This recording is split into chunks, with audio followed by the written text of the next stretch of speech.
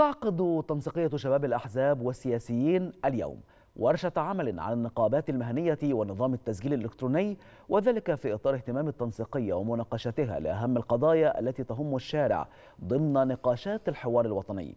وتتناول الورشة مناقشة عدة محاور منها تفعيل دور النقابات المهنية في مصر والاستفادة من كوادرها العلمية وتعزيز دورها بالإضافة إلى أولوية النقابات المهنية بين تنظيم المهن والاهتمام بشؤون أعضائها بجانب دور النقابات المهنية في التنمية الاقتصادية وإصدار قانون موحد لتنظيم النقابات المهنية وتنظيم آليات إنشاء نقابات مهنية جديدة. وكانت تنسيقية شباب الأحزاب والسياسيين أعلنت عن إطلاق سلسلة كبيرة من ورش العمل مع المتخصصين من كافة التيارات والاتجاهات المختلفة وأعضاء التنسيقية بشأن القضايا التي سيتم طرحها خلال جلسات الحوار الوطني